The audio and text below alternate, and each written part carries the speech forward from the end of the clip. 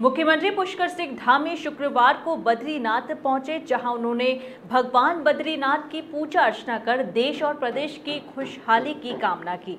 उसके बाद सीएम ने मास्टर प्लान के तहत संचालित कार्यों का निरीक्षण किया। उन्होंने अधिकारियों को मास्टर प्लान के तहत संचालित कार्यों में तेज़ी लाने के निर्देश दिए। कहा कि निर्माण कार्यों को गुणवत्ता व समय के साथ पूरा किया जाए।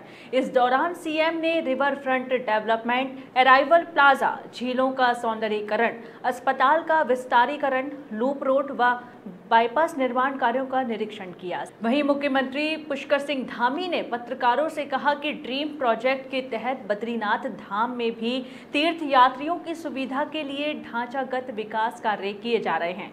उन्होंने कहा कि स्थानीय लोगों के सहयोग से बद्रीनाथ धाम में विकास कार्य किए जाएँगे। मुख्यमंत्री ने कहा कि प्रधानमंत्री नरेंद्र मोदी के ड्रीम प्रोजेक्ट केदारनाथ की तर्ज पर बद्रीनाथ धाम को भी विकसित किया जाएगा, जिसमें पहले चरण का कार्य चल रहा है। यात्रा देखिए पिछले सालों की तुलना में काफ़ी श्रद्धालुओं की संख्या अधिक है। लेकिन उसके बावजूद भी यात्रा अच्छी चल रही है। और सभी यात्रियों से भी मैंने बात की है सभी लोग संतुष्ट हैं यात्रा से और हम व्यवस्थाएँ व्यवस्थाओं को कर रहे हैं। आज तो मैं क्योंकि पिछले दिनों केदारनाथ जी का जो पुनर्निर्माण का कार्य चल रहा है हमारे देश के प्रधानमंत्री मोदी जी के नेतृत्व में वहाँ पर एक चरण का काम पूरा हो गया दूसरे चरण का काम चल रहा है वो भी पूरा होने को है।